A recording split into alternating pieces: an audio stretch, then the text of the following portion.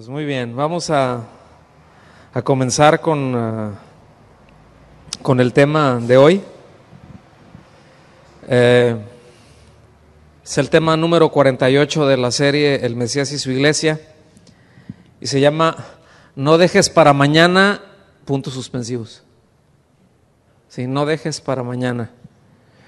Vamos a estar viendo uh, Lucas 12. De hecho, todo el pasaje que vamos a, ver, no lo vamos a leer todo, solamente una, una, uh, una sección, pero de lo que vamos a estar hablando es desde el versículo 49 hasta el 59. Yo después me voy a, centrar en otras partes, pero lo que les quiero decir es de que aquí uh, el Señor continúa exhortando a la multitud Sí, acuérdense que le estaba hablando a la multitud. Sí, recuerdan eso que estábamos viendo en un par de temas pasados, en donde les dijo una, una parábola y, y, y, Pedro le dijo, ¿dices por ellos o por nosotros, verdad? Así como que a quién le cae el saco. Y ya el Señor eh, le explicó con otra parábola, en fin. Aquí todavía siguen con el mismo hilo, siguen con el mismo tema, sigue hablándole a la multitud tratando de, de, despertarla a que reconocieran el tiempo de su visitación, el tiempo de la visitación del Mesías. ¿Verdad? De alguna manera les hace un reproche pues muy fuerte por la poca sensibilidad espiritual que estaban teniendo ellos, pero tenían una profunda religiosidad. ¿Sí? Y, hay veces el hombre ahí se atora, es decir, el hombre se conforma fácilmente con religión. Tenían muchas cosas, tenían al Mesías enfrente y no lo reconocían, pero tenían religión. ¿Sí? En el capítulo 13, de hecho, eh, de, de los versículos del 1 al 5, él continúa haciéndoles ver su necesidad de arrepentimiento. Estoy tratando de, ubicar el, contexto en donde estamos y a dónde vamos a ir eh, en el siguiente tema, pero les habla acerca de la necesidad de ver el, el arrepentimiento, ¿sí? Que ellos no debían de pensar que eran mejores que, que aquellos que habían pasado por unas calamidades, ¿no? ¿Se acuerdan ahí que menciona este, de los que habían uh, matado Pilato, que los había mezclado con la, la, sangre, con la de los sacrificios. Este, la siguiente tema explicaremos un poco de esos, o los que les cayeron la torre, ¿verdad? Y dijeron en la torre, sí, este, pues, ay, yo creo que a ellos, pues, han de haber sido pecadores, ¿verdad? Y porque andaban bien mal, entonces el Señor les ajustó las tuercas ahí y lo que el, Señor les estaba diciendo, les dice, no, no, no, no, no, tranquilos, ¿eh? ustedes no son mejores que ellos, les está diciendo a la multitud, porque eran hechos muy conocidos. Es decir, eran, eran eventos muy sonados, eran cosas muy, muy conocidas y que de alguna manera ya habían creado una cierta idea. ¿Sí? Ya habían creado una cierta idea y les, por eso les, les trae eso muy fresco a la memoria, ¿no? Entonces, sin duda, la exhortación más fuerte que vemos es precisamente a que tenían que discernir el tiempo en que estaban viviendo. Tenían que discernir el tiempo en que estaban viviendo y mucho de eso este, nos pasa a nosotros. Tenemos que discernir el tiempo en que estamos viviendo. Ellos tenían delante a la misma imagen del Dios invisible, ¿sí? Les estaba dando evidencia tras evidencia tras evidencia, evidencia, perdón, de quien él decía ser. Porque, eh, de hecho, eh, eso fue lo que lo llevó a la cruz. Por eso lo mataron, ¿sí? Y, y él daba evidencia de eso que él decía ser, de esa persona que él decía ser. ¿Sí? Repito, una tras otra, tras otra, y aún así por el mismo ensimismamiento, por la misma introspección, pues toda la gente estaba a punto de cometer un error de consecuencias eternas. Dejarlo pasar. Y eso es lo que vemos, o sea, si, si nosotros mm, trasladamos aquello que, que, el Señor les estaba diciendo, simplemente o, o lo adelantamos dos mil años o nos retrasamos dos mil años, las circunstancias van a cambiar, ¿cierto? Pero el corazón del hombre sigue siendo el mismo. se sigue enredando con las mismas cosas, ¿sí? De alguna manera, en algunos casos, las preocupaciones son más intensas en unos lugares que en otros las circunstancias cambian, pero me atrevo a decir que en general son las mismas cosas que nos distraen. ¿Sí o no? En general son las mismas cosas que nos distraen. Entonces aquí hay, hay, una doctrina muy, muy preciosa que trata este tema, ¿sí?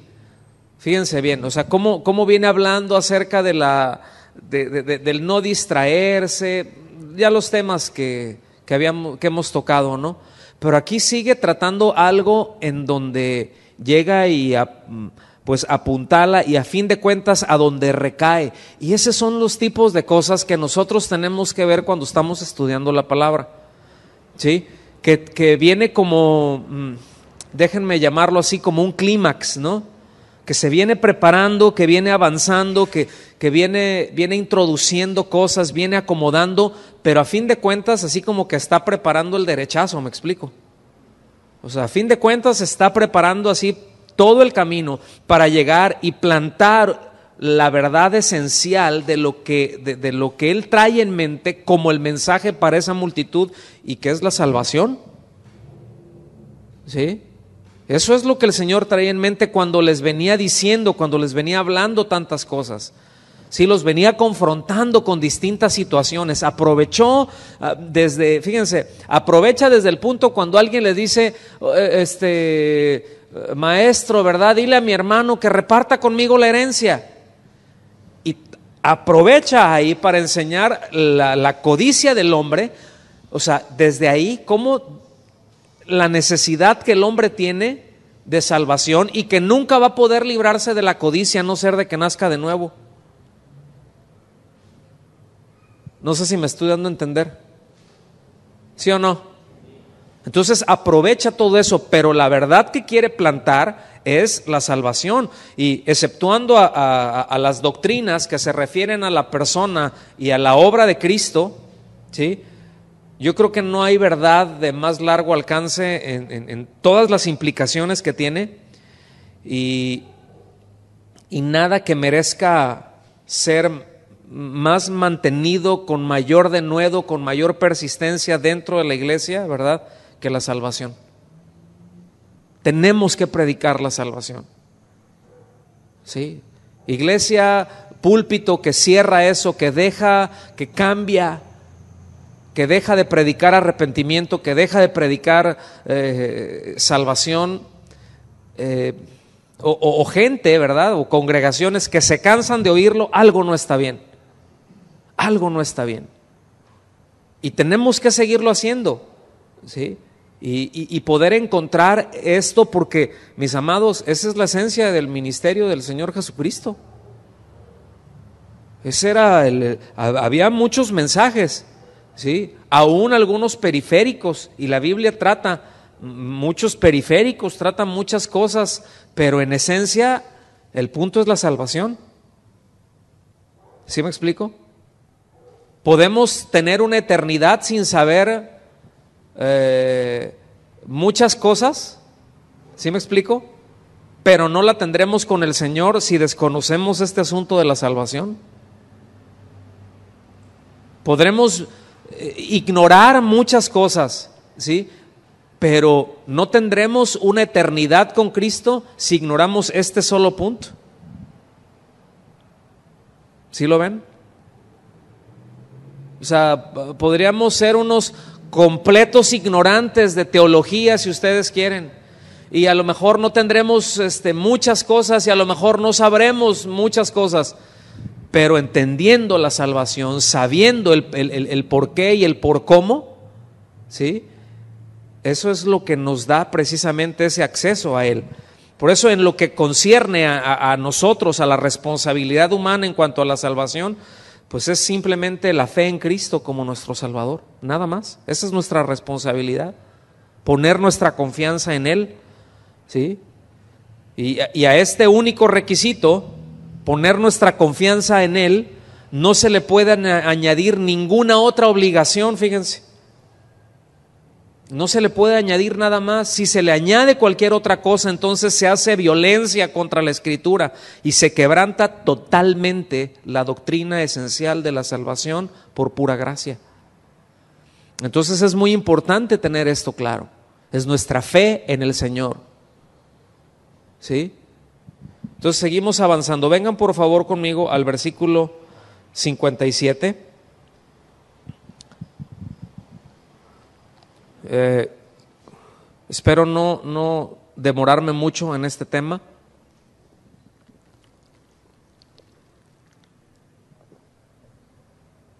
Versículo 57 de Lucas 12 dice, ¿y por qué no juzgáis por vosotros mismos lo que es justo? Fíjense, es una pregunta muy interesante. ¿Por qué no juzgáis por vosotros mismos lo que es justo? ¿Por qué creen que les hace esta pregunta? Porque él es, ah, había, estaba hablando en los textos inmediatos anteriores, ¿verdad? De que él no había venido para traer paz, sino disensión, y, este, ahí les pone de a peso los tomates, ¿no? ¿Cómo estaba el asunto? Y después llega a esto, les dice, bola de hipócritas, sí saben discernir los tiempos, ¿verdad? Sí, ya ven que se nubló, ya ven que hizo acá y dicen, ah, va a ser, e, eran muy buenos climatólogos, ¿sí? pero no, no pueden discernir a quién tienen delante, no pueden discernir el, el tiempo en que están viviendo. Les estoy dando, lo estoy parafraseando, ¿no? Les estoy dando evidencia tras evidencia tras evidencia de quién soy yo y no pueden discernir esto.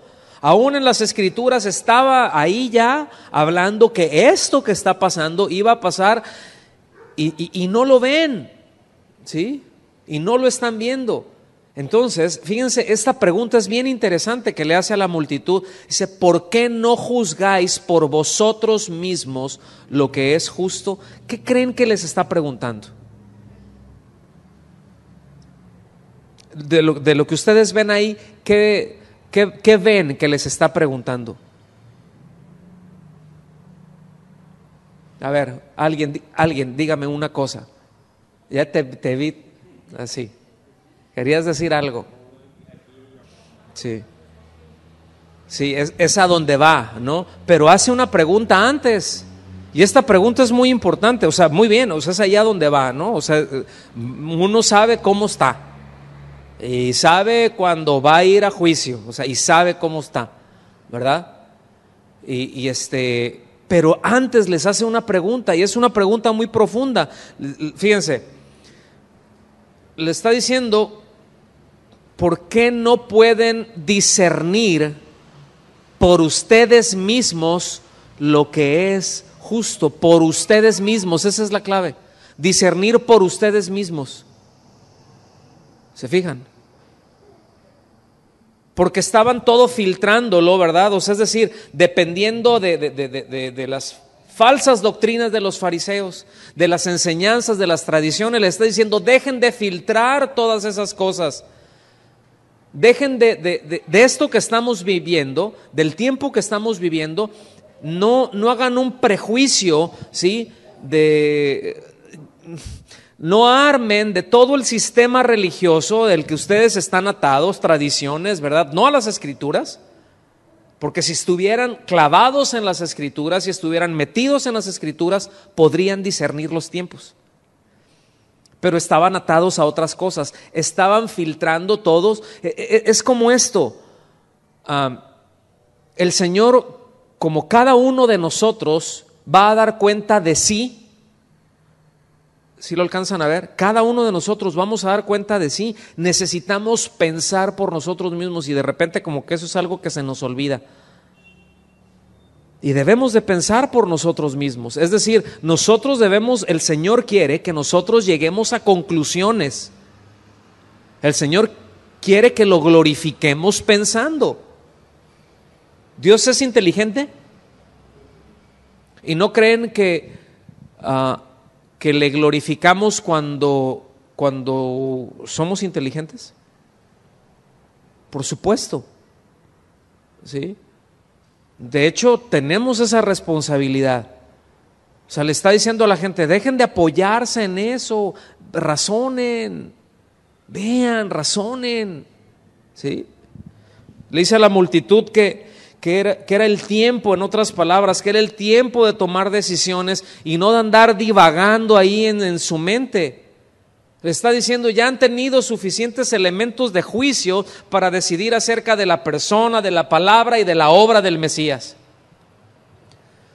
Piensen por ustedes mismos. Analícenlo ustedes mismos. No, pero es que nos dijeron esto. No, no, no, no. Analízalo tú, analízalo tú mismo.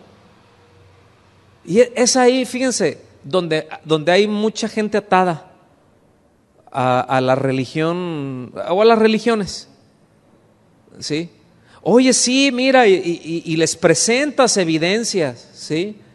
Y, y, dicen, bueno, sí, pero es que esto, y es que a mí me dijeron esto, y es que a mí me enseñaron esto. Sí, pero piensa por ti mismo, ¿por qué no piensas por ti mismo? ¿Se fijan? O sea, ¿por qué no analizas? ¿Por qué no disiernes por ti mismo? Ve el tiempo que estás viviendo. Y repito, aquí les estaba diciendo, este, ya, les, ya, ya tienen suficientes elementos para juzgar lo que es justo, lo que es lo, lo que concierne al camino de la verdad, lo que concierne al evangelio. ¿Sí? Ya con las cosas que, que, que, ustedes tienen, con los elementos que ustedes tienen, ya pueden hablar acerca de mí, pueden discernir acerca de mí. A ver, ¿qué testimonio tengo? ¿Tenía mal testimonio? No sé, ¿quién me redarguye de pecado? ¿Quién dijo yo? Pues nadie. Sí, pues, es decir, tenía un buen testimonio, que lo atacaban porque no estaban de acuerdo con otras cosas que él decía, eso era parte, pero nadie podía decir algo mal acerca de él, que tuviera una doble vida o que tuviera una doble moral, no, cosa que él sí les decía abiertamente. A él nunca le dijeron hipócrita, ¿se fijan? Pero él sí, les dijo sepulcros blanqueados. O sea, e, esos son, son detalles, mis amados, que debemos siempre de tener presente. ¿Sí? ¿Para qué? Para presentar defensa de nuestra fe. Porque todos esos son elementos. Lo acusaban, ah, sí, tú estás endemoniado. Esos decían, pero él los refutó, siempre los refutó. Cuando se tenía que quedar callado, se quedaba callado, pero ahí no aplica del que calla otorga. Se quedaba callado en mansedumbre. ¿sí? Porque no tenía ningún caso decir nada, porque ya tenían determinado. ¿Sí me explico? O sea, ya no tenía ningún caso.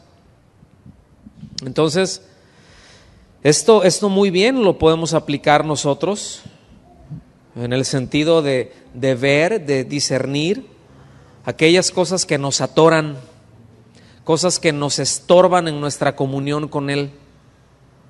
¿Sí?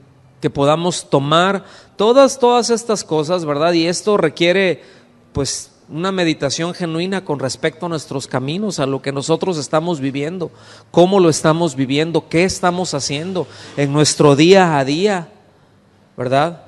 Si estamos fluctuando entre dispuestos y disponibles. ¿Sí? Porque si se acuerdan que no es lo mismo, ¿verdad? Voy a estar insistiendo en eso. Y a veces se fluctúa, estoy dispuesto, pero no estoy disponible. Y, así se fluctúa. Entonces, esto lo podríamos aplicar perfectamente a nosotros, de ver por nosotros mismos, de juzgar por nosotros mismos el tiempo en que estamos viviendo y las respuestas que le estamos dando al Señor en, todos los aspectos, en nuestra comunión, en nuestro servicio, eh, eh, eh, en, casa, como esposo, como hijo, como padre, ¿verdad? Como madre, como, como todo lo que somos. ¿Qué respuestas estamos dando? ¿Cómo vamos ahí? Discernir el tiempo. ¿Está bien? Versículo 58. Dice, cuando vayas al magistrado, con tu adversario, procura en el camino arreglarte con él. Aquí acuérdense que el, camino se está refiriendo a nuestra vida, es una parábola, es un lenguaje metafórico. no sea que te arrastre al juez y el juez te entregue el alguacil y el alguacil te meta a la cárcel. O sea, en otras palabras, lo que está diciendo es, mira, ponte de acuerdo con tu adversario porque eres culpable. O sea, si llegas al juez te va a encontrar culpable. ¿Se fijan? No, no, no está dando otra posibilidad. Si llegas al juez, te va a encontrar culpable. Te va a aplicar la ley. Y una vez que ya se aplica la ley, ahí ya no hay misericordia. Ahorita voy a, voy a ir para allá. Es decir, en el camino es en donde podemos encontrar gracia. Es donde podemos encontrar arreglo, es donde podemos encontrar misericordia. Entonces, fíjense, aquí también está en una figura que ellos entendían muy bien. Porque resulta que cuando alguien era arrestado, de hecho, ah, eran muy pocas las cosas por las cuales se le arrestaba a alguien. Y una de las cosas era porque defraudaba, porque se endeudaba, ¿sí me explico? Y, bueno, al fin de cuentas eran, eran por cuestiones de daños. Entonces, cuando alguien era arrestado, esta persona que era arrestada dependía totalmente de sus amigos, de los más cercanos, de la familia, para obtener recursos y quedar libre. O sea, ya, o sea, a no ser de que él tuviera recursos propios, por eso hay veces les quitaban lo que tenían e incluso a la familia y los utilizaban como sirvientes por determinados números de años, porque entre los judíos no se permitía la esclavitud perpetua. Sí, había esclavos, o sea, se tomaban como siervos incluso con ellos, pero decían, mira, cuando llegue el año del jubileo, lo dejas libre y le das y lo, y lo indemnizas. Le regresas su tierra, le regresas esto. es decir, con esto, con este tiempo que te estuvo sirviendo él, su familia, sus bienes y todo, ya sacaste lo que te debía. No os hagáis. ¿Sí me explico? O sea, no es de ya te lo quité y, este, y, esto vale más de lo que me debías, entonces, no, no, no. Con el, con el usufructo que se tenía de los bienes del otro que le llegaban a quitar, ¿sí? Dice, con ese tiempo, ya con eso te pagaste, fácil. Eh, eh, eh, son leyes justas, o sea, reflejan el corazón de Dios. La aplicación, fíjense bien, la aplicación de las leyes no era para destruir, era para salvaguardar. O sea, la palabra de Dios, la ley de Dios, los mandatos de Dios son para guardarnos, son para librarnos, son para protegernos. Y cuando incurrimos en ellas, ciertamente, bueno, viene el barazo y es justo, pero no es para dejarnos, y a mí me, me, me ministra mucho, por ejemplo, tocante a esta ley en particular, que, que bueno, pues si alguien cometía algún error, pues ahí estaba, ¿verdad? Y dices, ni modo, me voy de tu sirviente, pero no para siempre, por un tiempo, y después el Señor ya establecía que debías de ser restaurado y seguir con tu vida. Y alguien que pasa por esas, aprendemos la lección. ¿No es cierto que aprendemos mejor así? O sea, eh, sí se nos aplica la ley, pero ahí eh, en la ley es amor, ¿eh? O sea, la ley de Dios no es contraria al amor. O sea, no sé si me explico. Porque no, no ley, eso no, y se malentiende. Yo entiendo, por la falta de conocimiento, por la ignorancia. Se mezclan cosas, pero bueno. El caso es de que eh, eh, cuando un hombre, ¿verdad? Eh, para saldar la cuenta y que no fuera echado a la cárcel, pues los que estaban ahí, los que lo podían redimir, era la gente más cercana. Y aquí ese es el punto que está haciendo. Eso es lo que le está diciendo, mira, ve a arreglarte, pero tus recursos y tus méritos no te van a alcanzar. Tienes que apoyarte en los méritos y en los recursos de tu adversario. Ahí está la gracia, porque es el único pago aceptable para redimirnos de una condenación segura. ¿Se fijan? Es ese arreglo, ¿qué implica ese arreglo? Fíjense, ese arreglo es tan fuerte que cuando va de camino le está diciendo a su adversario, entiéndase el Señor Jesucristo, me quiero arreglar contigo, pero no tengo con qué pagarte. No puedo hacerlo. No tengo méritos, no tengo recursos para resarcirte. Lo único en lo que me puedo apoyar es en tus méritos y es en tus recursos. Es decir, si tú no me redimes, yo estoy condenado. Qué grueso, ¿no? Y ahí está la gracia. Y ahí está la gracia. El contexto que precede a esto ya nos ha mostrado, ¿verdad?, varias de las verdades. Vamos a algunas verdades muy, muy importantes. Y aquí es necesario que cada uno se pregunte, escuchen bien, ¿eh? si soy un siervo fiel o si soy un siervo infiel. No, no pierda de vista el versículo 58. ¿Sí? Que hay que, cuando llega la crisis, ¿verdad? Pues tenemos que tomar partido. Es decir, o con el Señor o, o no cuando el asunto ya viene el parteaguas, no nos podemos quedar en medio. Llega un momento en que dices, ya no puedo, o sea, si me quedo, ya tomé, ya tomé, o sea, si decido no moverme, ya decidí, ya tomé partido. Nos enseña también que Dios nos habla en la, en la hora crítica y nos advierte, ¿sí?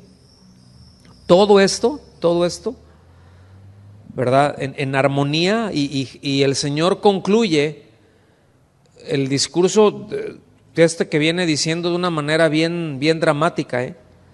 porque llama, ¿verdad? Exhorta a cada oyente a hacer las paces con Dios.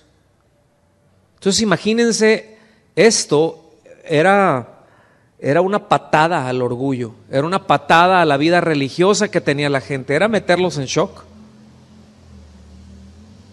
Porque así como que, a ver, a ver, ¿de, que, ¿de qué me estás hablando? Espérense. O sea, la multitud, ¿no? A ver, no, no, no, pero, pero ¿de qué nos estás hablando? Como si nosotros y hacemos y tenemos esto y esto y esto. Y aquí los expone, ¿verdad? A que no tenían nada. Les está diciendo, todo lo que tienen no les sirve para nada. Tienen que reconciliarse con Dios. Y esto concuerda perfectamente con lo que dice Isaías 55, versículos 6 y 7. Fíjense bien. Vayan ahí por favor a Isaías, capítulo 55. Muy, muy precioso pasaje.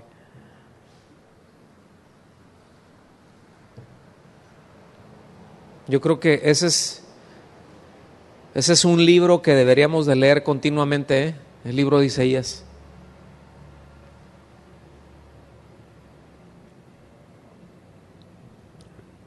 Dice, buscad, versículo 6, buscad a Jehová mientras puede ser hallado.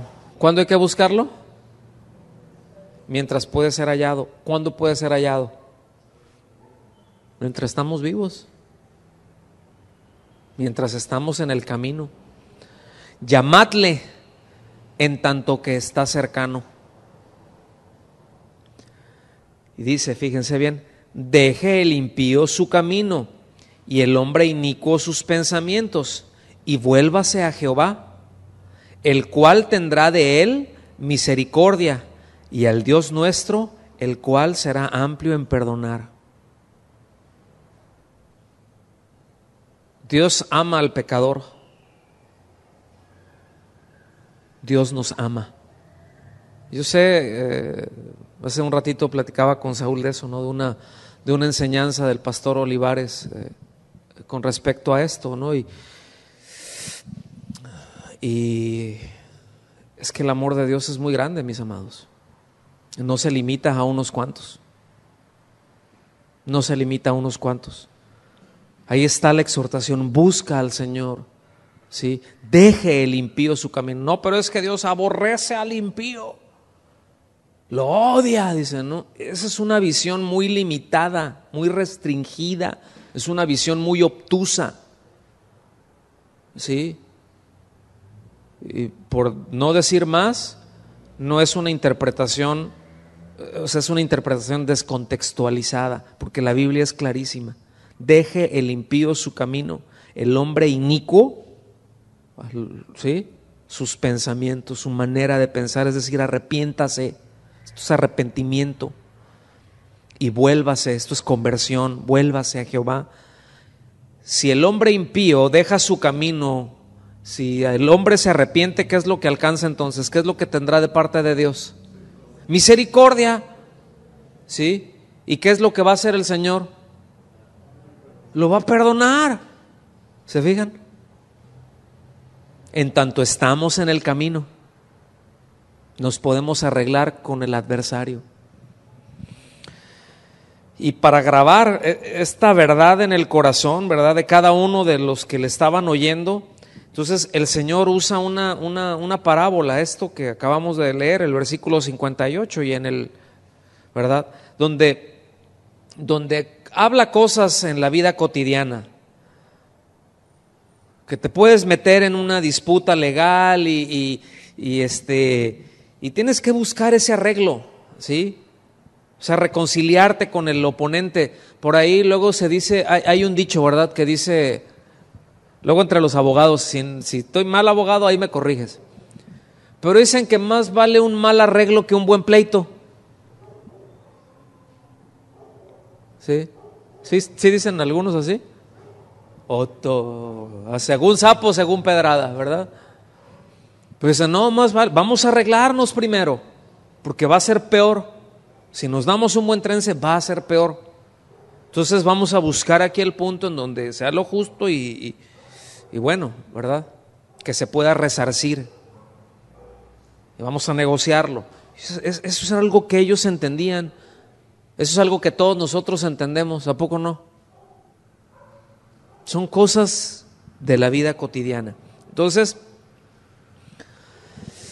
es aquí el Señor a quien le ha sido dado y encomendado todo el juicio, ¿sí? Él es el, magistrado, ¿sí? Él, es eh, la máxima autoridad en la Suprema Corte de Justicia, el abogado incorruptible, el juez incorruptible, ¿sí? En el que todos, todos vamos a comparecer. Por eso, fíjense bien, lo que dice Juan 5, 22 al 29, vengan conmigo. Juan 5, 22 al 29 dice, porque el Padre a nadie juzga, sino que todo el juicio dio al Hijo, para que todos honren al Hijo como honran al Padre. El que no honra al Hijo, no honra al Padre que le envió. De cierto, de cierto os digo, el que oye mi palabra y cree al que me envió, tiene vida eterna y no vendrá a condenación, mas ha pasado de muerte a vida.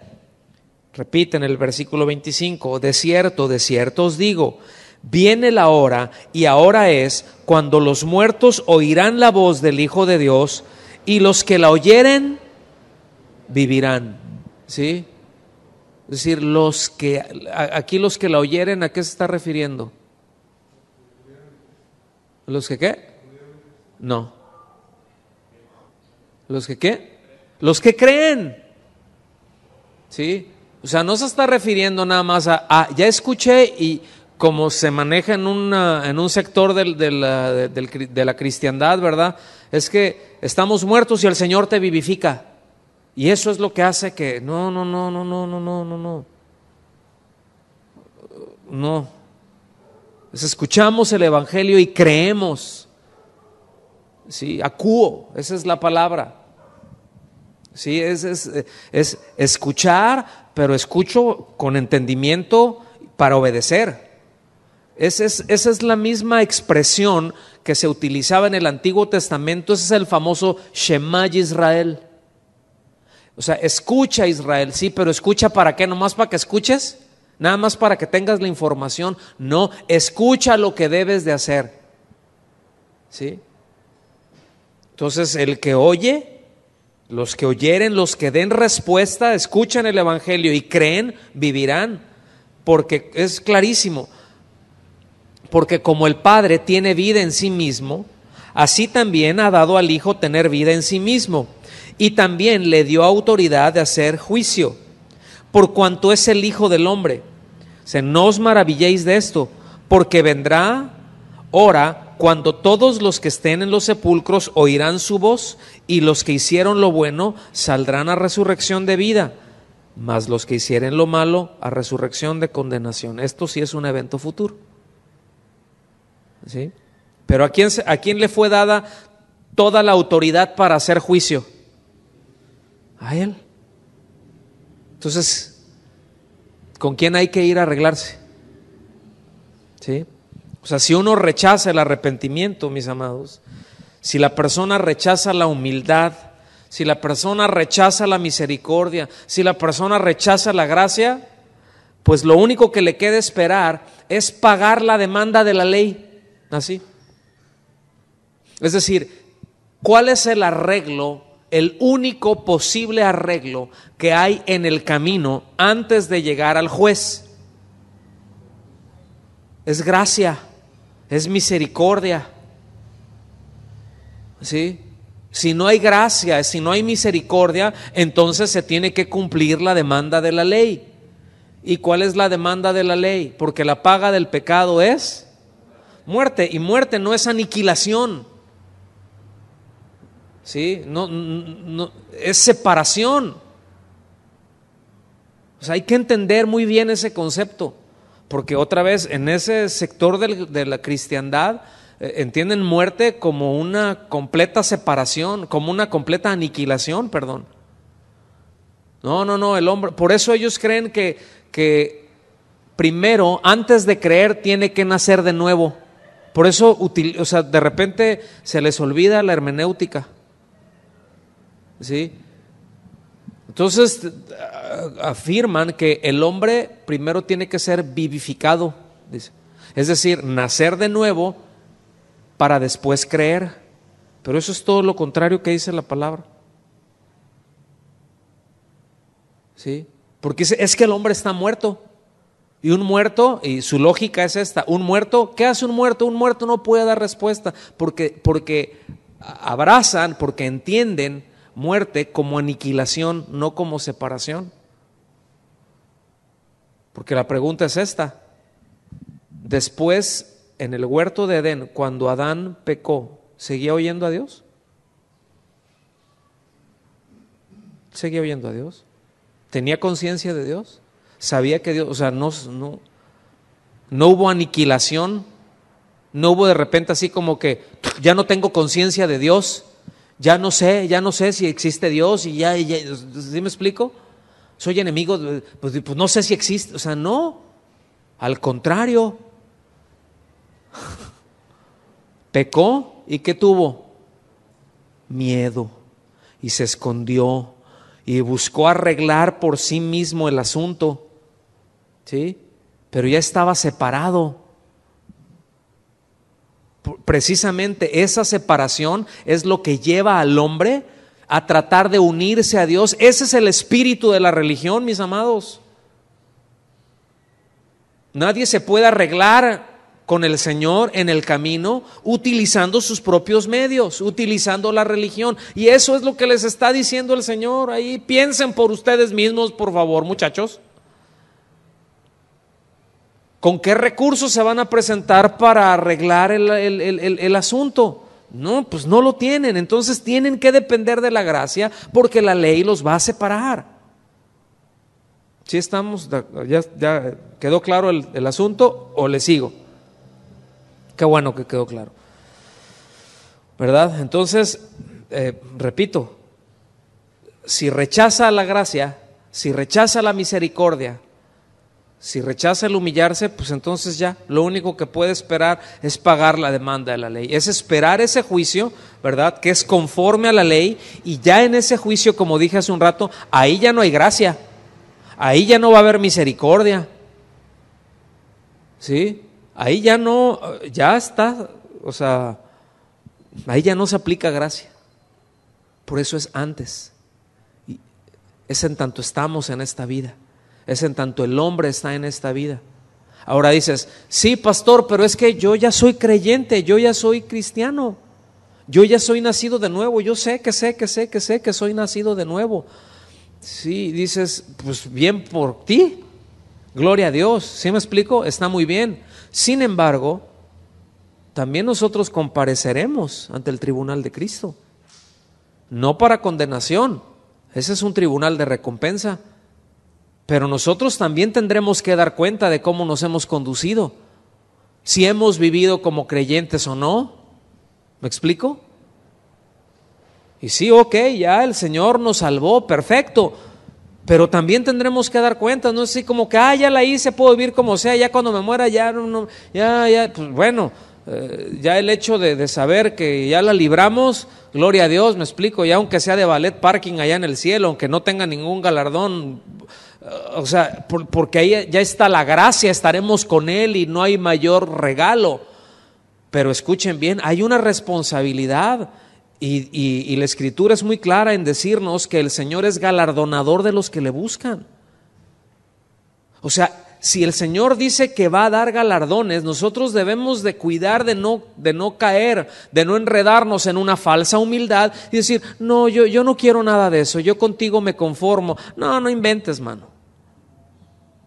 Porque eso llega a ser, incluso, esa es una falsa humildad, ¿sí? Escuchen bien, ese es un argumento que lo único que hace es ponerle una careta a la, a, la apatía espiritual y a la irresponsabilidad. Porque si el Señor quiere darnos galardones, si el Señor demanda que le demos respuesta y dice, o sea, nosotros miren mis amados, tendríamos que darle respuestas a Dios aun si no hubieran galardones. Ese debe de ser nuestra condición, pero Él le ha placido hacer eso.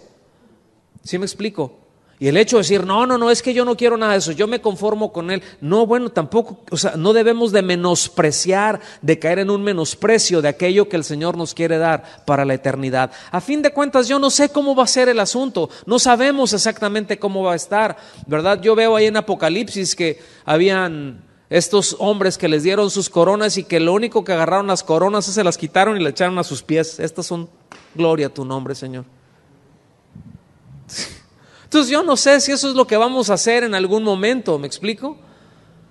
Llegar y sí, ay, cuántos galardones y tienes y lleno de medallas, ¿no? Así como militar, eh, como general retirado, ¿verdad? De, que ganó las mil y un batallas. Y, así, todo lleno de, de, galardones, de premios y de todo. Pero vamos a llegar y decir, Señor, todo esto eh, a tus pies. Y ¡zas! caemos y nos postramos a adorar ahí por la eternidad y a disfrutarlo de Él, que ese es el mayor bien que podemos tener. Pero son de las cosas que debemos de tener en cuenta y que aquí se nos aplica. Ponernos de acuerdo con el Señor. ¿Sí? Ya no en el sentido de, un, de, de condenación, pero sí en el sentido de, Señor, ¿cómo te estoy dando respuestas o no? Estamos de camino para allá y cómo, cómo, cómo, ¿Cómo voy? ¿En dónde tengo que ajustar? O simplemente, ahorita como, como decía Vero, ¿verdad? Este, cada uno de nosotros sabemos cómo estamos en nuestro corazón. Y desde nuestro corazón sabemos cómo estamos delante de Dios. Y aquí yo no estoy hablando de si hacemos muchas cosas o no, cómo estamos delante del Señor. Porque ya a fin de cuentas cosas que hacemos o dejamos de hacer pueden ser un reflejo. ¿Sí? Podemos caer en un activismo y hacer, hacer, hacer, hacer. Y eso, miren, eso no quiere decir que una persona que hace y hace y hace y hace muchas cosas, no quiere decir que está bien delante de Dios. ¿eh? Quiere decir quizá que es activa. ¿Verdad? Puede ser que sea muy servicial, que tenga un espíritu de servicio, pero eso no quiere decir que está caminando bien con el Señor. Entonces yo creo que aquí esto, esto nos aplica a todos. Discernirlo en ese sentido los tiempos en los que estamos viviendo. ¿Cierto o no? ¿Sí me están captando? Okay. Versículo 59, vamos perfilando ya para el final. Dice, te digo que no saldrás de allí hasta que no hayas pagado aún la última blanca. ¿Sí? O sea, ponte de acuerdo con tu adversario, arréglate. Dice, arréglate con tu adversario antes de que llegues al juez, porque el juez te va a agarrar, te va a mandar a la cárcel, ¿verdad? Y, y, no vas a salir de allí, dice, y si te digo que no saldrás de allí hasta que hayas pagado la última blanca. Es decir, lo que le está diciendo es hasta la última fracción, ¿sí? Una blanca era una, era una monedita, ¿verdad? Leptón, esa era la, así era la, la, moneda, el leptón. Una monedita chiquita, ¿sí? Pero el, el asunto es de que esta posibilidad tiene que ver solamente con un lenguaje figurado que el Señor está utilizando.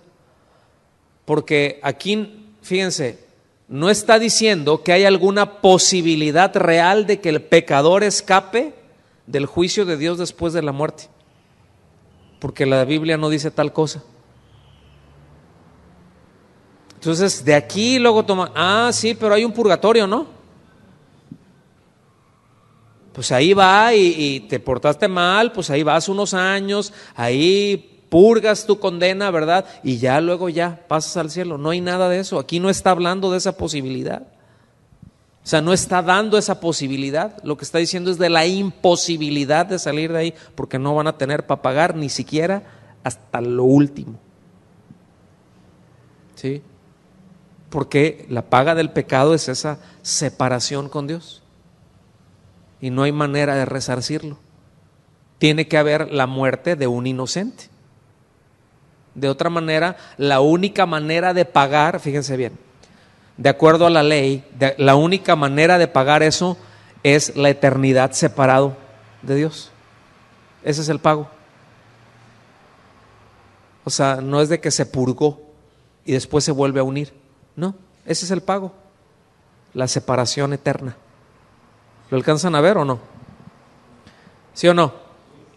Entonces, el Señor Jesús vino para, para hacer con la humanidad un tremendo intercambio. Así lo llamaba Martín Lutero, un intercambio. Martín Lutero decía, era tomar, con respecto al hombre, tomar sus pecados y llevarlos a la cruz para pagar por ellos y a cambio darles su justicia perfecta y eterna. Eso es lo que pasa realmente. O sea, está explicado muy bien, ¿no? Muy claro. Es un intercambio lo que ocurre. El Señor toma nuestros pecados, los lleva a la, a la cruz, paga por ellos y nos regresa una justicia perfecta y eterna. ¿Sí? Y si no estamos dispuestos a aceptar la justicia de Cristo, entonces estamos obligados a pagar hasta el último centavo. Esa es la enseñanza. O sea, no estás dispuesto a aceptar la gracia, la misericordia, la justicia del Mesías, entonces a pagar hasta el último centavo, centavo. Entonces, hay de aquel, ¿verdad?, que deje esta vida sin haberse reconciliado con Dios porque ya no encontrará, repito, gracia ni misericordia, tendrá que pagar y no podrá hacerlo. ¿Sí? Esa fe es, es, es, lo único que impide que la persona quede separada, que muera en su pecado. Es decir, murió. Dice, esto es a lo que se refiere morir en pecado, es decir, separado de Dios. Es la incredulidad. En Juan 8:24 dice, por eso dije que moriréis en vuestros pecados.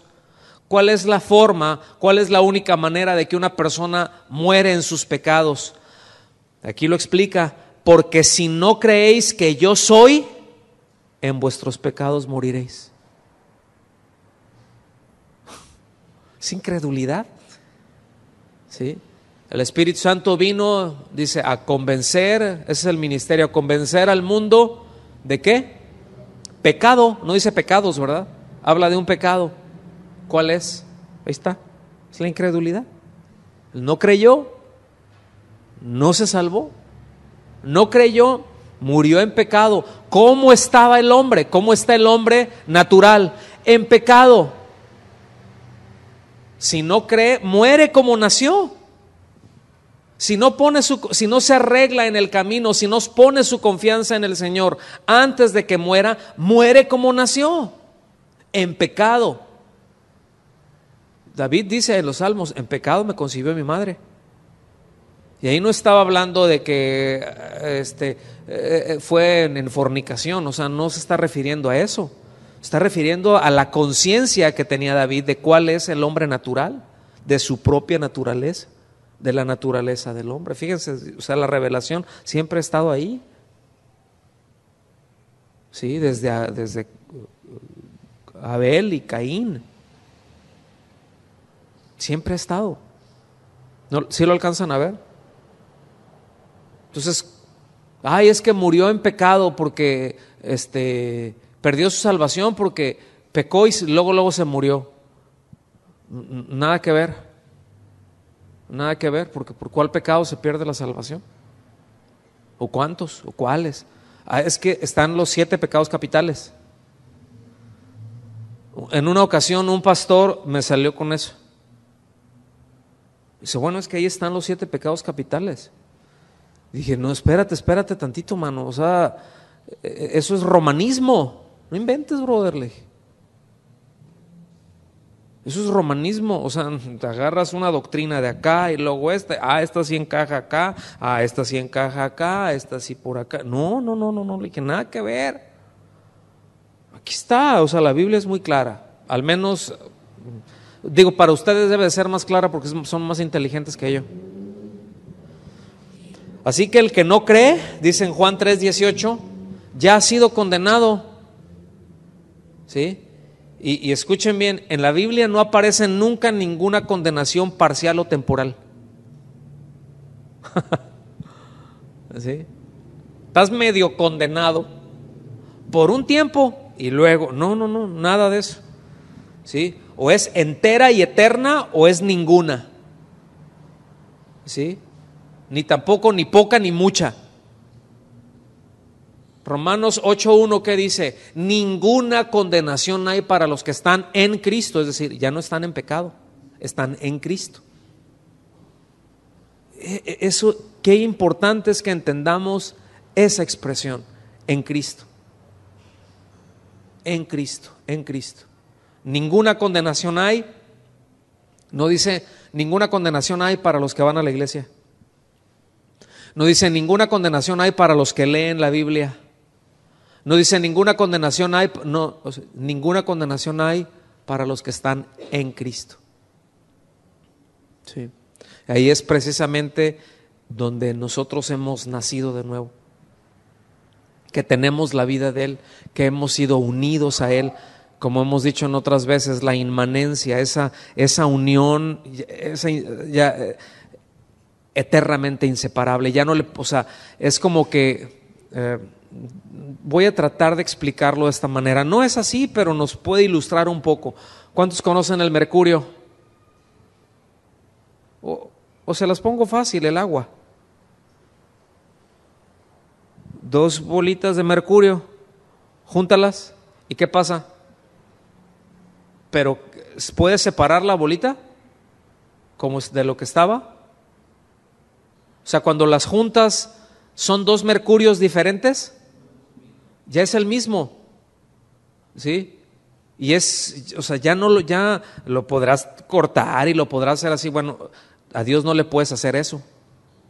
Dios no puedes cortarle un pedazo de su vida. Es toda la vida. Es decir, es, es esa separación, por así decirlo. ¿Ok? Es esa separación. Está Dios acá y nosotros estamos acá, separados en nuestros pecados, en nuestra incredulidad. A la hora de que creemos, ya somos uno con Él. ¿Sí? Y así, y alguien más, y, ya se hace uno con Él. Y ya es el mismo mercurio que está ahí. Tienen las mismas características. Si tú lo divides, cualquier pedacito, si le haces un análisis a eso, todos tienen, son exactamente lo mismo. indivisible. Es un elemento. No es un compuesto.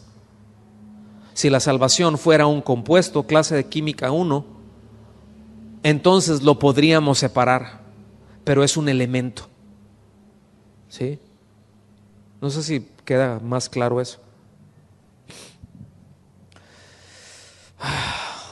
Vámonos ya a la conclusión. Entonces, yo no sé si alcanzan a ver, por ejemplo, los tiempos que estamos viviendo ahorita. ¿Sí? La verdad es que no estamos nada lejos, mis amados, del final. Yo creo que estamos entrando en la recta final de los tiempos. O sea, prácticamente, prácticamente, y no porque lo haya dicho el Papa, pero es, es muy obvio, prácticamente ya estamos en la puerta de la Tercera Guerra Mundial. Como han dicho los expertos, es, una guerra muy rara, porque antes la primera y la segunda y todas las guerras que han habido es yo le declaro la guerra, en el caso de la Segunda Guerra Mundial, vamos a pegarle a los del eje, ¿verdad? Aliados contra el eje, pero eran, eran naciones muy definidas. ¿Sí me explico? Eran naciones muy definidas. Ahorita ya Francia le declara la guerra al Estado Islámico, que, que, no tiene un territorio definido, que no tiene un gobierno definido, pero que tiene todos los recursos para hacerle la vida de cuadrito a medio mundo. Y ya es un estado de guerra. O sea, ya hay por parte de Francia, ya hay recursos cuando, se hace una declaración de guerra es porque ya tuvo la aprobación de su Congreso, del Parlamento, para asignarle todos los recursos necesarios para eso. Es decir, ya se echó a andar. ¿Me explico? Está en guerra. Entonces, de ahí se van a ir uniendo otros. De ahí se van a ir uniendo. Y es una guerra muy rara, es una guerra que nunca había existido. Pero va a ser muy muy fuerte. Más que nunca, ahorita Medio Oriente está metido en una crisis tan delicada y tan fuerte, ¿verdad? Que, que prácticamente todos los ejércitos de las superpotencias ya están en estado de alerta. China con más de 200 millones de efectivos listos, ¿sí? Para, para, desplegar y lo único que se les interpone para llegar allá es el, es el paso en, en, la parte de Afganistán, que es en donde están parados ahí los americanos. ¿Qué tanto van a aguantar ahí? Porque tienen, tienen paso libre para Afganistán y tienen paso libre para Irán, para Irak, y ahí están ya, donde se están dando y donde se van a dar con todo. Lo mismo el ejército ruso, o sea, viene de arriba, de norte hacia sur, y bueno, este es interesante, pero si quieren saber cuál es el desenlace, cuál será el desenlace de eso, lea la Biblia. Ahí está. Ahí está. ¿Sí? Ahí en la Biblia nos dicen dónde va a terminar más del 80% del ejército ruso. y así. ¿Cómo van a terminar todos esos ejércitos que por millones y millones y millones y millones? Ahí está ya en la escritura. ¿no? Entonces, e-, es importante, ¿sí? No, no, falta mucho para ver que se levante esa, o para oír más bien esa voz que dice, Paz y seguridad. No falta mucho. Cuando estén a punto de darse ya los cocolazos, no falta mucho. ¿Y qué dice la Biblia cuando digan, eh, eh, paz y seguridad? Vendrá destrucción repentina.